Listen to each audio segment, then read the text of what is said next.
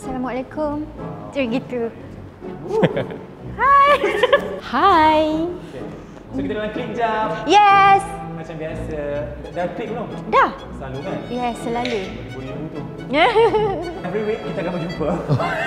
kan?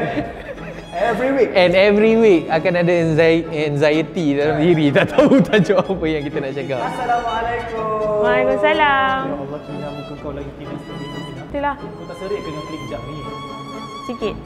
Assalamualaikum Alif. Selalu Alif bagi salam. Ah. Salam. Bagi Ya. salam kan? Ya, Waalaikumsalam. Kau yang bagi salam. Okay. So, macam biasa dalam klik jam, kita akan bagi you topik yang you tak tahu. Okey. Dan kita akan I memang sebab apa dalam hidup kita ni kita akan selalu tak tahu apa yang akan terjadi di hadapan. Jadi kita kena hadap dan kita kena berserah reda ya. Yeah, and kita konsep klik jam. Okey, baik. Dan reda. What is it this week Alif? Come on. So, kita nak tanya beberapa soalan. Ha. Okay. Macam biasa, eh. Uh, maybe benda ni akan mengimbau sama kanak-kanak you. Oh, let's go. Let's go. Let's go. Uh, I rasa I antara kanak-kanak yang uh, aktif sangat. Semua segala benda yang dekat sekolah tu I masuk. Waktu kecil-kecil dekat rumah kita orang depan tu ada pokok cherry. So me and my little brother Kimi kita orang akan panjat pokok tu like tiap-tiap petang ambil cherry, duduk atas tu. Jatuh kot, jatuh longkang. Longkang tu tinggi, like legit tinggi. Maksud kalau kau masuk tu kau tak nampak atas. Memang tak nampak atas pun. Kenapa tu?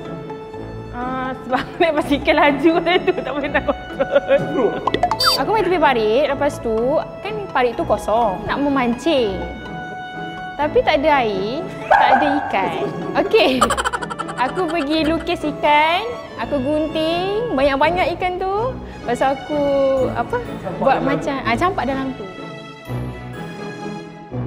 Main- Oh, galang panjang. Uh, saya suka main nyanyi-nyanyi. Main masak-masak dalam hutan, nyorok-nyorok, tuit-tuit tu. Ha, tuit. Tuit, tuit, tuit. Bigfoot. Ha. Popping kat? Tak tak dia makan lepas tu you celuk-celuk macam tu. Hmm, Tora. Hidup sama Tora. Come on. Yupi, Yupi. Yang yang dia macam burger, lepas tu dia, eh, aku suka tu. Okay. Kita dalam segmen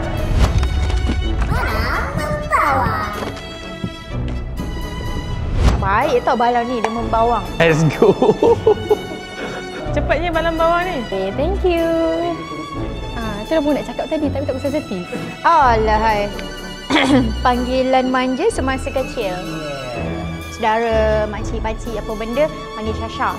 Adik Adik tu uh, mak lah, family dalam rumah. Uh, kalau dekat sekolah, Wan. Sekarang ada panggilan manja. Sekarang, sekarang um, tak payah nak memanja dengan orang. Eh, sekarang tak ada lah, tak ada. Mm-mm. Tak ada eh? Tak ada, tak ada, tak ada. Tak ada. Manjakan diri sendiri. Manjakan diri je. Okay, baik. Sekejap lagi pergi spa manjakan diri. Childhood movie. Xena. Princess Warrior. Hercules. I love Hercules. Superhero kan? Ah tu lah. Legend masa kecil? I think this is very common um, in between our childhood moments, which is doctor. But actually not really doctor lah. Uh, time by time dia berubah sikit nak jadi lecturer. Sekarang? Sekarang jadi manusia pun dah cukup. Alah, tak best. Tak cuy. Pengalaman pahit. Pengalaman pahit sewaktu anak. Anak, mana boleh? Cut. okay, uh, masa tu kita orang tengah main badminton kat depan rumah. And then, tahu tak yang simen yang untuk tahu je. Kau nak bayang tak apa yang aku nak cerita pasal ni? Yang simen-simen tu, aku nampak tu, Ih, geram yang aku, aku pergi campak kat muka kakak aku. Itu saja untuk Balang Membawang. Okey, kita ada video nak tunjuk. Like usual. Tolong ah. Alamak, disturbing ke? Aku ni dah lah hati kapal. Jom, jom.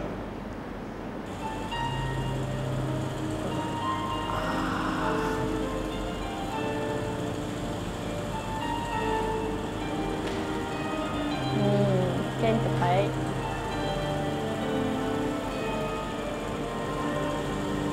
Sebaya aku? Tak pernah habis cerita-cerita macam ni. Ah, Ami. Oh, ni sedih. Hmm. Hmm.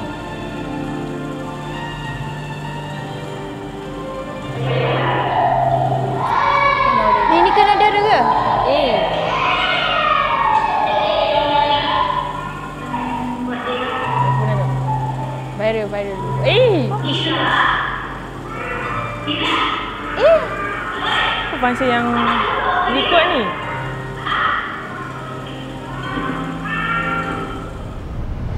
Tak boleh lah buat macam ni Lip.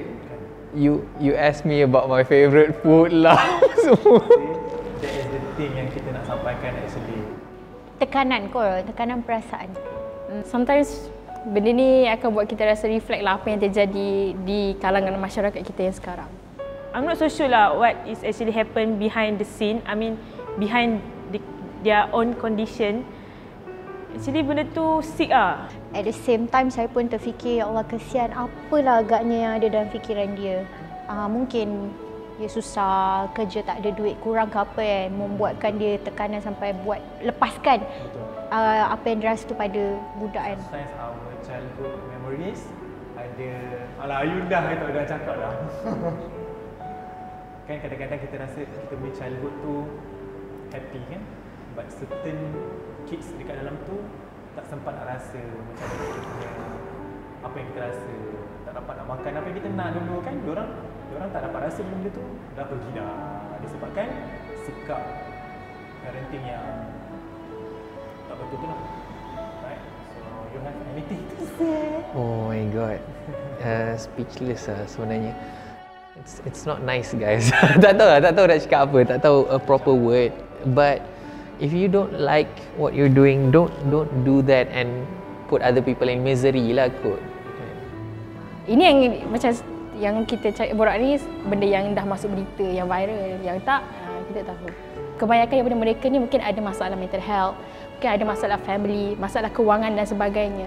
Tapi jangan jadikan anak tu sebagai bahan untuk kita melepaskan amarah kita. Janganlah sebab anak-anak ni tak faham apa-apa. parenting Parenting Knowledge tu penting. knowledge tu penting. Mental kena be ready lah. Sebab I bet uh, sebab tadi tak ada video tu kan. Nak rasa video tu mak dia tu macam dah orang panggil apa? Meroyan tau.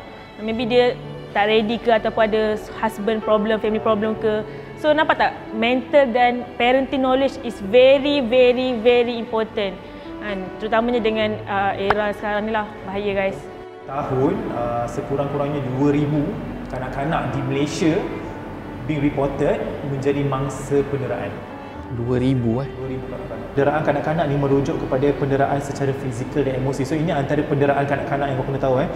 Fizikal emosi, seksual, kecuaian dan pengabaian kanak-kanak. Ah, Itu antara penderaan terhadap kanak-kanak. Sebab ada kat luar sana Alip yang dah 20 20 tahun 30 tahun kahwin tak dapat pun anak. Kita yang baru je kahwin setahun dah dapat anak kalau kita dera ni ya Allah. Oh, Rabbi. Satu kita kata sebagai kufur nikmat lah. Sebab ada orang nak anak tak dapat anak.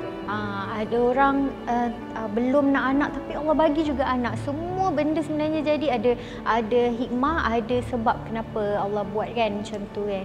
Okey macam biasa kalau rasa video ni best, Jangan lupa like And share And click the subscribe button to see more videos like this. bye.